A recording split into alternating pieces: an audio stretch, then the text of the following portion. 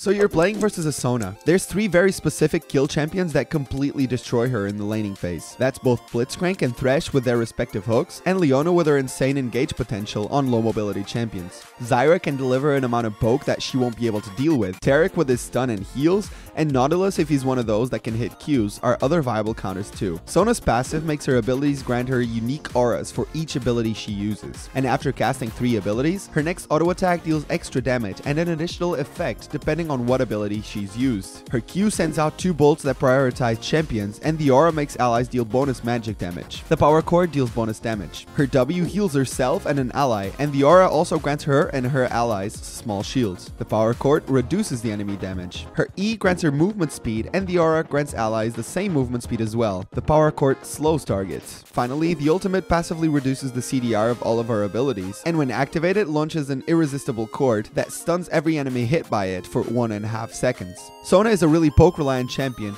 and cannot deal with champions getting near her or her allies. That being said, exhaust won't prevent enemies from bursting her down, so most Sonas take ignites to greatly increase their killing potential in lane. You can take ignite as well since it will prevent her small healing attempts and quickly execute what is perhaps the squishiest champion in league. As for her power spikes, it's simple. Level 1 with just her Q is a great trading ability, especially if she's stacked her passive when helping her jungler. Level 3 when she gets access to all her basic abilities abilities, and 6 when she can finally engage, are other good power spikes too. Sheen is a great item to build as Sona, and vastly increases her trading potential, but she can easily be denied by champions that have good mobility and can burst her down quickly. Thank you for tuning in, good luck in your match, and remember, do not clump up in a line when team fighting. She is very squishy, especially in the early levels of the game, so engage her when you have the chance pre-6, and she suffers a lot of mana problems, so be sure to be looking at that pretty blue line below her health bar. Ultimately, have fun doing it.